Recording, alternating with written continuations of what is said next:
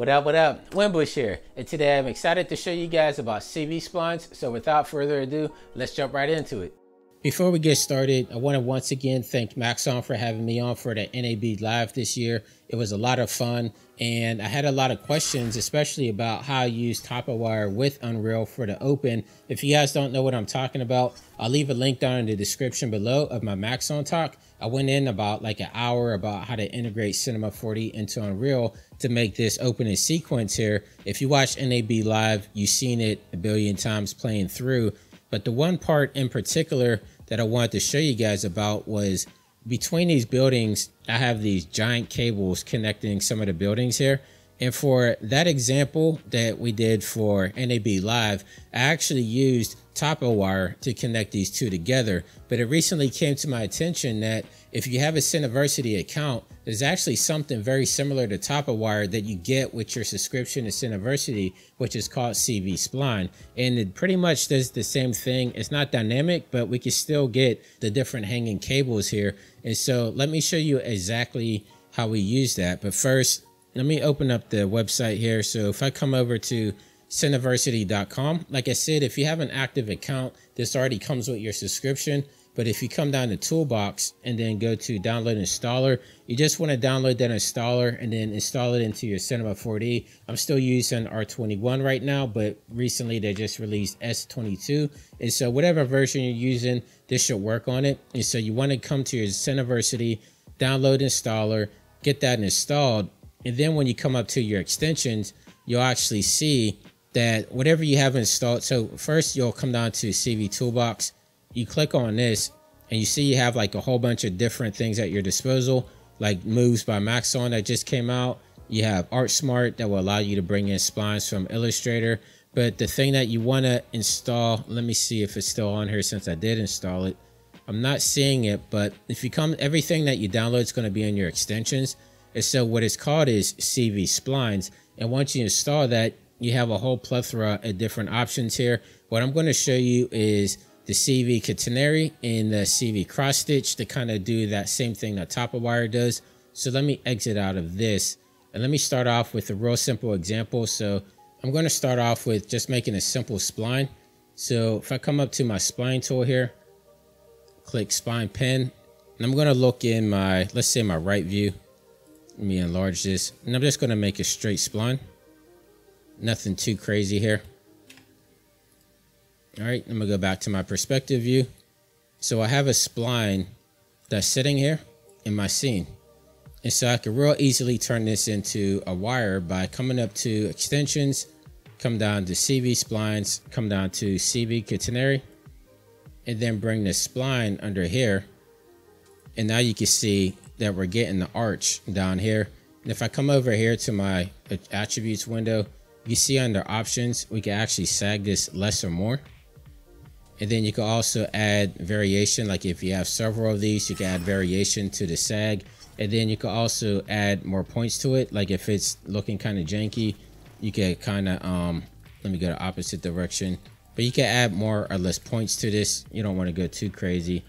But that's just a real simple example of how you could get it started. But the cool thing about this is we can actually turn this into a mesh by using a sweep. So if I come over to sweep, and then let's just make a circle like so. And we're going to make it a little bit smaller because this is going to be the width of our wire here. And then we bring these both underneath this, um, the sweep here. So now we have a geometry that's made out of that spline there. And we still have full control over it. It's non-destructive, so we can add more sag to it, less sag to it, etc. So now let me show you how to use this with the MoGraph cloner. I think that's the most powerful point or the most powerful part of this. So let me delete my sweep here. Let me come over to my MoGraph cloner like so. And then let's maybe, let's do a cube. So I'm gonna put a cube in here. Let's make this a little bit smaller, like 20 by 20 by 20.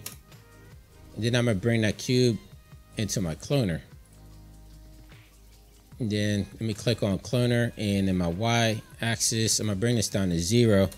And actually let's move this out on my Z space. So maybe somewhere, let's do like 500. And let's add a little bit more, maybe like six. somewhere around there. All right, so you can see that we have six cubes going in a straight line over here. So if I come up to my extensions, come down to CV splines, and then I'm going to use cross stitch first. So CV cross stitch, click on that, and you can see that we have under object where it says root cloner. We're just going to click and drag our cloner under there. And now you can see it automatically made a spline in between all of our different cubes. And what's cool is this is totally dynamic with our cloner. And so if I come and let's say move, so if I do step rotation, and you can see we're moving this around and our spline is moving around with it. And if that's a little bit hard to see on the screen, I can actually come over and we'll just put it underneath the sweep again. So let me come over here. Let's make another sweep. And then I'm going to make another circle. Make my radius around like two. Drop my sweep or drop my circle under my sweep. My cross stitch under there. Then now you can see that we have geometry going between our cubes. And if I turn off my cube, you can actually see now we just have our spline going there. And if I mess around with this step rotation, you can see that it's following it all around. So I know you're wondering, what about adding like sagging stuff because this is all just in a straight line. So the cool thing is we can actually add in the CV catenary and we can get the sag like we had before. So let me turn my cubes back on and I'm gonna zero these back out on my step rotation. So I'm gonna come under my extensions, come under CV catenary, the first one here. And then I wanna bring my cloner underneath that. No, I'm sorry, not my cloner. I wanna bring cross stitch underneath that. So now that I have my catenary up top, I have as a parent of my cross stitch, and now you see we're getting the sag in between all of our cubes here. And the same thing as before, if I move this around, it's following everything there. And I can actually come over to my circle and I can move this radius up a little bit more so we can actually see it. And I actually have to bring this underneath my sweep here. So let me drag this under here. There we go. So now, there we go, radius around six. So now you can see the power of this. So we have it inside of a cloner. We can actually move this all around like so. Let me zero this out because it doesn't stop there.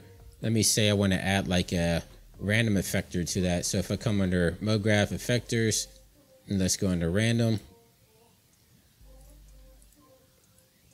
There you go, somewhere like that. Let's maybe like 1500. 1250.